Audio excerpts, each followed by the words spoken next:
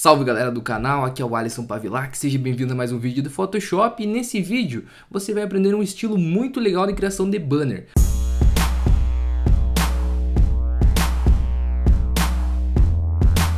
A sugestão veio do Pedro Henrique, aluno do curso Profissão Photoshop.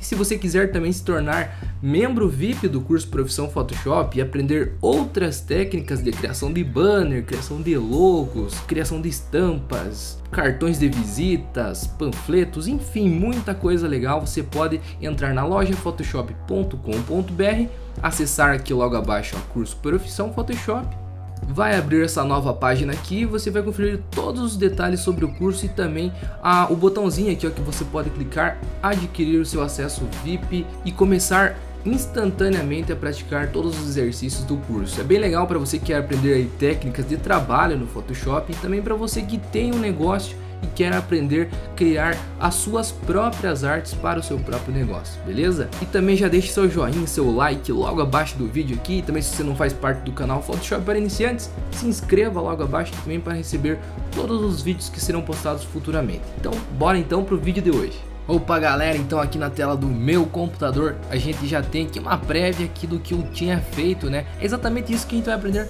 na videoaula de hoje. Como criar esse banner aqui, ó. Obviamente você vai poder colocar as suas informações, as suas características, ilustrações, enfim. Você vai aprender como que faz essa estrutura de banner, beleza? Então vamos criar aqui um novo documento. Nesse caso a gente vai utilizar os banners para redes sociais.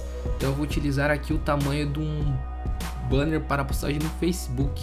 Então 1200 pixels de largura por 1000 de altura, resolução 72 mesmo. Posso dar um OK. Beleza, o primeiro passo então que você vai fazer nesse tipo, nesse esquema de criação de banner é definir uma imagem no fundo da sua imagem que tenha obviamente relação com a mensagem que você quer passar através do banner.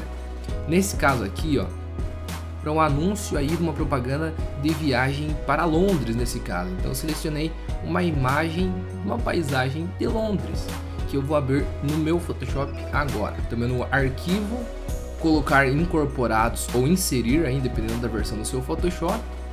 Você encontra aí na pasta do seu computador a imagem que você deseja abrir e clica em inserir.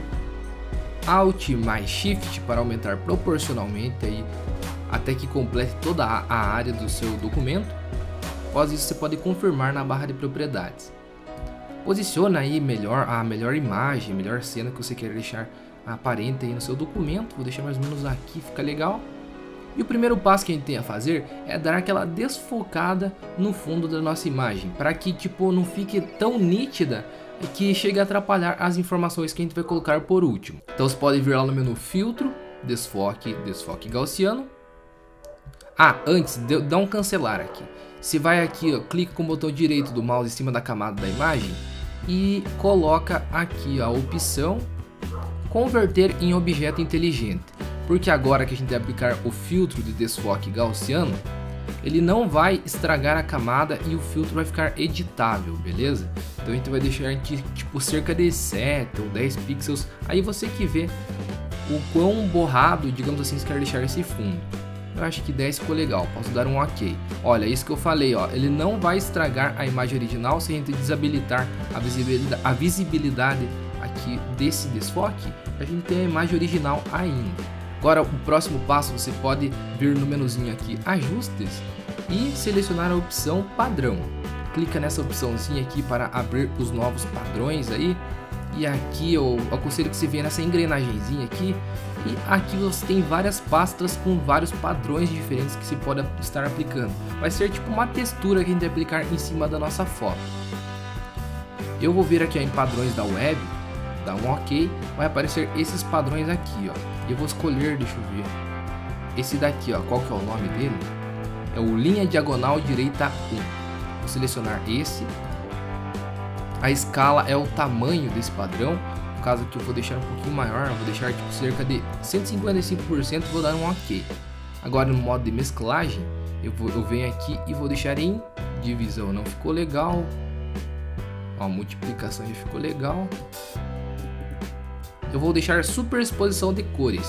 E agora eu vou diminuir a opacidade dele, deixar bem suavezinho. Só para dar um efeito extra aqui no nosso documento. Cerca de 10, 15% fica legal. Só achei que o desfoque gaussiano ficou muito forte, então eu posso vir aqui ó, novamente e estar modificando. Eu dei dois cliques aqui no, no filtro, né, desfoque inteligente. Vou reduzir aqui para 7, vou dar um OK.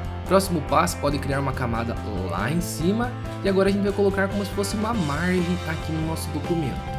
Então para isso eu venho aqui nas ferramentas de retângulo você pode escolher aqui, ó, retângulo, simplesmente o retângulo, que ele vai deixar os cantos quadradinhos, ou retângulo arredondado, que você pode colocar um grau de arredondamento, digamos assim, desse canto.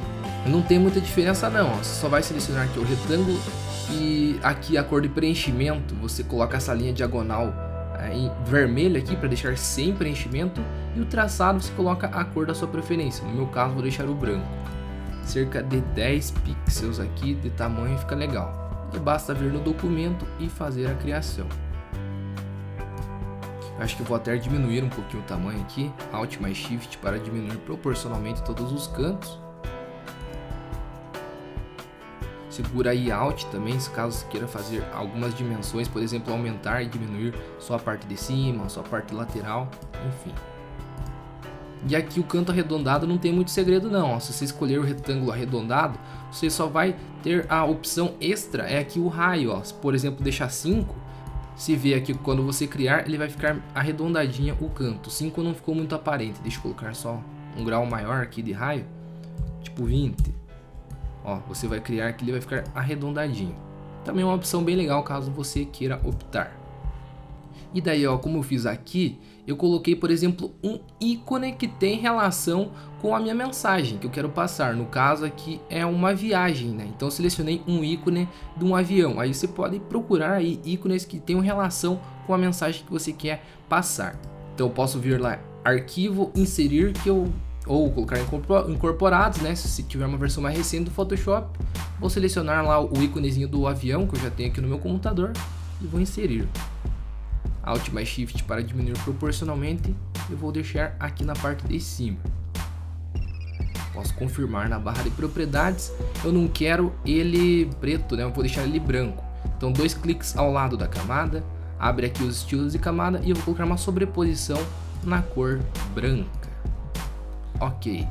Só que aqui ele ficou confundindo com a linha, né? Então eu vou voltar aqui ó, no retângulo que a gente criou essa linha para dar o contorno Vou criar uma máscara de camada, selecionar aqui ó, a ferramenta laço poligonal e vou criar um contorno entre esse avião e a linha aqui de margem. Então mais ou menos aqui ó, eu quero que a linha termine e aqui também. Posso fazer essa seleção e agora eu seleciono o pincel com a cor preta, lembrando aqui ó, com a máscara camada selecionada, basta você pintar essa região que ele estará escondendo. Show de bola! E aqui também vou colocar as informações, né? no caso viagem para Londres, pacotes a partir de 3 mil reais. Utilizar aqui então a ferramenta texto, criar uma nova camada em cima de todas aqui e vou clicar para começar a digitar. Então no caso viagem, deixar em caixa alta aqui, não quero essa fonte, né? eu vou querer a fonte Bebasneu irregular na cor branca e vou dar um itálico aqui também. Seleciona aqui ó, a ferramenta de mover para ela para ajustar bem certinho onde você quer deixar o seu texto. Ctrl T para aparecer esses nozinhos para você aumentar e diminuir. Alt mais Shift para aumentar proporcionalmente todos os cantos. Ctrl J, vou manter essa mesma fonte e escrever para aqui embaixo. Só que eu vou diminuir o tamanho dela. Então, volto lá, ferramenta mover, Alt mais Shift, diminui proporcionalmente o tamanho da, da minha fonte. Ou você pode vir aqui no menuzinho também, nos caracteres, e estar diminuindo através dessa opçãozinha aqui. Londres, Londres eu vou colocar uma fonte diferente.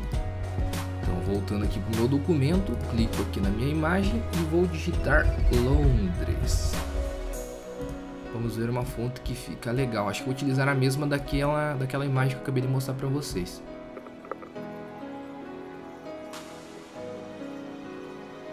Não, vou utilizar essa fonte aqui, ó, Confetti Stream. Alt mais Shift para aumentar proporcionalmente e vou centralizar certinho aqui no meu documento. Olha, mas nesse caso centralizado, bom, ele vai pegar um pouquinho do para, eu vou mover aqui o para um pouquinho para lateral.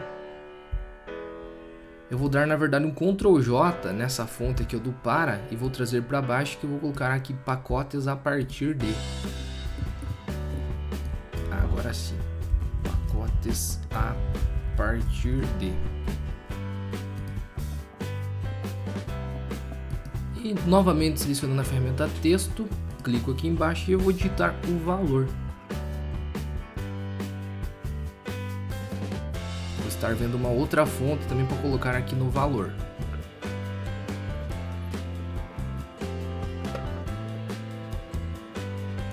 Aqui no caso eu escolhi a Kelson Sans.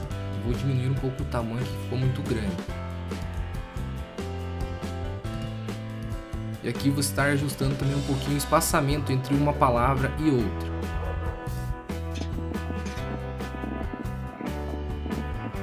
E também para dar um destaque ainda maior aqui para a palavra Londres, que é o que tem que chamar a atenção nesse caso aqui, né? O destino da viagem. Vou colocar até um enfeitezinho aqui, tipo pegar uma elipse, deixar é, só com o contorno mesmo do traçado aqui sem cor de preenchimento. Fazer um círculo aqui na lateral para dar um enfeitezinho extra aqui e também dar, chamar uma atenção para, para exatamente o ponto que tem que ser chamado a atenção nesse banner. Dar um Ctrl J e levar lá para o outro lado também.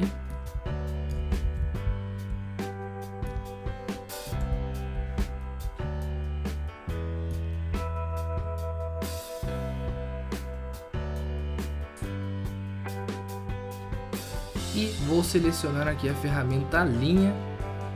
Vou deixar aqui ó uma espessura de 10 pixels para ficar do mesmo tamanho aqui da lateral.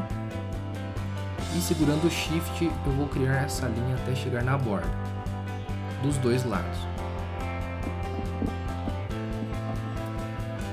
Ah, e também se você quiser colocar tipo um degradê, que nem eu coloquei aqui, ó, o degradê do, do roxo para o transparente, na verdade, que eu coloquei aqui embaixo, para dar um destaque extra, mas pode utilizar também qualquer cor, né? Eu utilizei o roxo porque ficou mais legal nessa imagem. Então você pode vir aqui, ó, logo em cima do padrão aqui, você clica em ajustes, degradê. E aqui eu coloquei o degradê com a opacidade em zero. Você clica nesse, nessa caixinha aqui de cima, na segunda cor, e deixa a opacidade em zero, que ele vai ficar da cor para o transparente e nessa caixinha de baixo aqui você modifica a cor do seu degradê, que no caso aqui eu escolhi um roxo. Posso dar um OK, OK novamente. Aqui eu deixei no estilo linear o ângulo em 90 graus. Posso dar um OK. E eu modifiquei aqui o modo de mesclagem para clarear. Se quiser diminuir um pouco a opacidade aqui, então pode diminuir também para não ficar tão forte o efeito mas isso aqui já deu uma cara legal também na nossa imagem. E dessa maneira, com passos simples, você consegue criar um banner incrivelmente incrível. Fica muito legal, do jeito, de uma maneira bem flat, e você consegue aplicar para qualquer ocasião. Tanto faz em qualquer lugar. Ah, fazer um aviso lá na minha fanpage do Facebook. Ah, e uma coisa muito importante também vá no menu arquivo salvar como e salve em PNG, que ele vai conservar melhor, uma melhor, ele vai postar na verdade no Facebook com uma melhor qualidade do que se salvasse em JPEG, beleza? Então vem aqui em PNG e salva a sua imagem.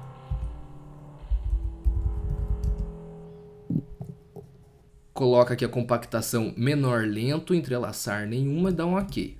E aí, curtiu o vídeo? Se você gostou, acesse lojaphotoshop.com.br. Lá você encontra muitas outras dicas além dessa. Aqui, ó, logo abaixo, conteúdo profissão Photoshop. Você vai encontrar tudo que você vai aprender no curso.